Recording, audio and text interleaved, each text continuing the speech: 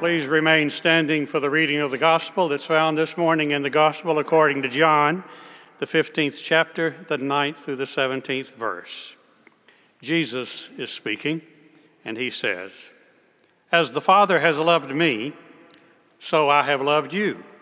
Abide in my love. If you keep my commandments, you will abide in my love, just as I have kept my Father's commandments and abide in his love. I have said these things to you so that your joy may be, my joy may be in you, and that your joy may be complete. This is my commandment that you love one another as I have loved you. No one has greater love than this to lay down one's life for one's friends. You are my friends if you do what I command you. I do not call you servants any longer because the servant does not know what the master is doing. But I've called you friends. You did not choose me, but I chose you. And I appointed you to go and bear fruit, fruit that will last, so that the Father will then give you whatever you ask him in my name. I'm giving you these commands so that you may love one another the gospel of our Lord. Thanks be to God.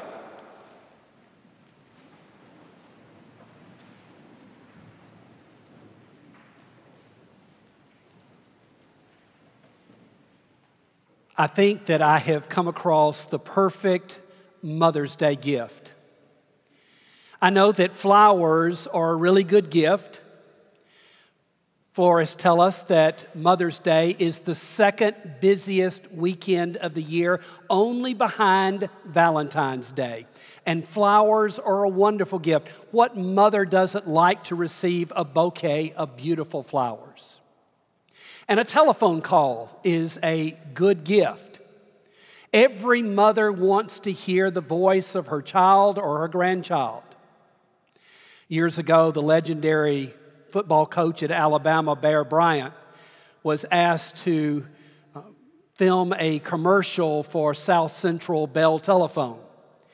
And the script called for him to tag the commercial with these words Call your mama. But when it came time to tape the commercial, Coach Bryant ad libbed the ending Call your mama. I wish I could. I imagine that more people in Alabama called their mama that year than any time in history. A telephone call is a very good gift, but I think I've come across one that's even better. And it's one that was taught to me by my mother. Shortly after my brother got married, it dawned on me that my brother, my sister, and I, for the first time in our lives, we were all three on our own. Wendy and I had been married a few years and we had one child and we were living in Cartersville. My sister had gotten married and she'd had her first child and they were living in Newnan, Georgia. And then my brother had just gotten married and he and his wife were living in LaGrange. And so I decided to get us together. I said, why don't once a month we get together for supper in Atlanta. Bring everybody together. And we started doing that. One month we would eat at Mary Mac's, another month we'd eat at the varsity, and each sibling got to choose a different restaurant each month. Well, I was visiting my mother and my daddy, and mama said to me, When was the last time you talked to your brother or your sister? I said, Well, we had supper together at the varsity last weekend. She said, What? And I said, Yeah, we, we did that. She said, What brought that on? I said, Well, Mama, we've been doing it for the last few months. We've been getting together once a month for supper.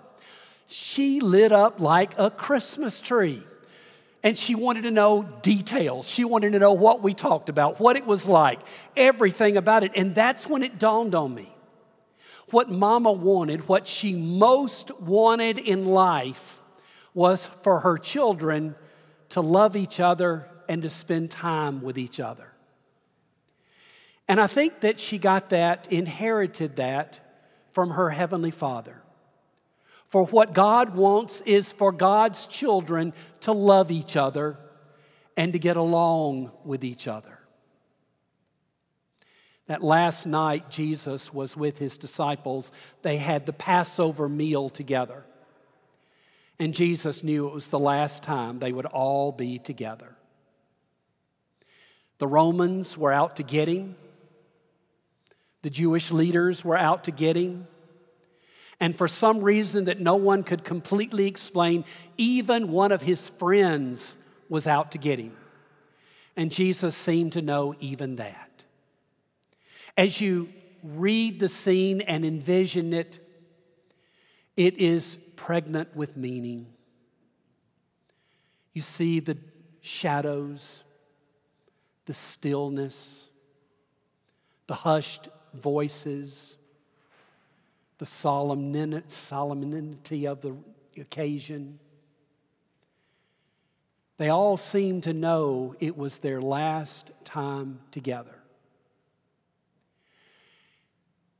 And Jesus said things to them that were important. After all, what do you say when you know it's the last time? Jesus said things like, I am the good shepherd. The good shepherd lays down his life for his sheep. I am the vine and you are the branches. And we look back on those sayings, and after Easter, they take on a little bit of a different meaning, don't they? After Easter, it's like, oh, I know what Jesus was talking about when he said that. I am the good shepherd. The good shepherd lays down his life for his sheep. Well, of course, Jesus is talking about what happened on the cross. I am the vine and you are the branches. Jesus is talking about his connection with God and his connection with the disciples. And after Easter, it seems so clear and we understand it. And today we have one more of those sayings at the table. This is my commandment that you love one another as I have loved you. Jesus is commanding his disciples to love each other.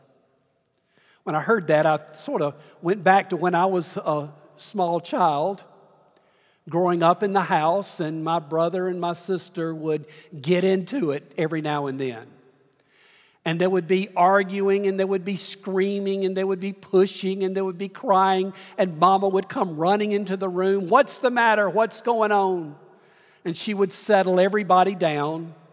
She'd find out who started it and then she would say i want you to tell the other one you're sorry now I want you to tell the other one, I love you, and I want y'all to hug. And that's what I thought about when I read this passage commanded to love it doesn't always work out the way you think it should, being commanded to love. You don't always say, I love you with the right emotion, with the right feeling. It's not quite as sincere as it's supposed to be. And I don't think that's what Jesus is saying at all when he says, love one another. Jesus describes this kind of love. He says, Love one another as I have loved you. And then he describes that love. You didn't choose me, I chose you. That's the kind of love that Jesus has. It's not something that you earn or to deserve, it's something that Jesus freely gives. In other words, there wasn't an application down at the employment office to be one of Jesus' disciples. There was no long interview process. Jesus chose his disciples and said, I choose to love you. I choose for you to be my disciple. Do you hear the intentionality of that? When I was seven, eight, nine years old, we lived in a neighborhood near town. And on the weekends, all the boys would gather on Saturday morning at the vacant lot. Most of the boys in my neighborhood were two or three years older than I was. We would play whatever ball was in season, whether it was football or baseball. We'd get out there and there'd be two captains. They would choose up teams and we would play. I was one of the younger boys, and so I stood on the fringes, hoping to get chosen. Now, can you imagine what it was like when the captain would look around and see the boys that were left over, looking at me and looking at an older, bigger boy, and then looking back at me, my heart beating out of my chest, and he'd say, Okay, we'll take Britt. To be chosen, to be selected. You talk about self esteem. At that point, I wanted to prove the captain right for choosing me. I wanted to do my best. I wanted to make him proud. And that's what Jesus is doing with these disciples. I choose you to be my disciple. Jesus says, I intend to love you. I choose you to be my brother, my sister. The kind of love that Jesus had is one that told the truth. Jesus would tell you when you did something right. Jesus would encourage you, compliment you. And when you did something wrong, Jesus would critique you. And Jesus would help you get back on the right path again. Jesus would tell the truth. Have you had people in your life who will tell you the truth and encourage you? People tell you the truth when you're making a mistake and helping you get back on the right path. When I was serving a church in Cartersville, we had a partnership with an elementary school. And one day I was in the principal's office. We were having a meeting. The door was shut. She was behind her desk. I was in front of her desk. And there was a knock at the door, and the door opened, and here came a teacher pushing a little second grader in front of her. And you should have seen the look of terror on his eyes. And I thought, oh my goodness, I know what this is like. Being sent to the principal's office. What am I about to witness here? And the teacher said, I am so sorry to interrupt y'all, but this little boy needed to come see the principal. You see, I caught Jimmy doing something very good in class today. The principal got up uh, out from behind her desk. She went over in front of him and she smiled and she knelt down and she said, Jimmy, is that true? Were you caught doing something good in class? Jimmy really didn't know how to answer the question. You could tell there was no saliva in his mouth whatsoever. And he just sort of barely got out the words, yes. And she hugged him and she took a dish off her plate, off her desk that had candy in it. And she said, Why don't you take a piece of candy with you and enjoy it for lunch? Well done, Jimmy. And as he left the office, I didn't see his feet hitting the ground. Uh, he was on cloud nine, just floating out of that office. And it felt to me like we'd had church. It felt to me like God was present with us. And that love and that grace and that acceptance was beautiful. It happens all the time at our church. The instruction is loving, it's grace filled. The outreach that we do is meant to help person live their very best life. And we look at people as our brothers and sisters in Christ. I don't watch the Oscars. I never do, and I don't think I ever will. But after the two weeks ago, after the Oscars, I heard about something that happened they gave Tyler Perry an award, a humanitarian award, and people were buzzing the next day about his speech. Apparently, he got up and he thanked his mother for helping him to never blanket judge anyone. And he said, as a result of his mother's instruction, he refuses to hate anyone who is Mexican. And he refuses to hate anyone who is black or white or LGBTQ. He refuses to hate anyone who is a policeman. And he refuses to allow people to draw him into hating Asians. And he said, I dedicate this award to anyone who is willing to live life in the middle with me. The middle.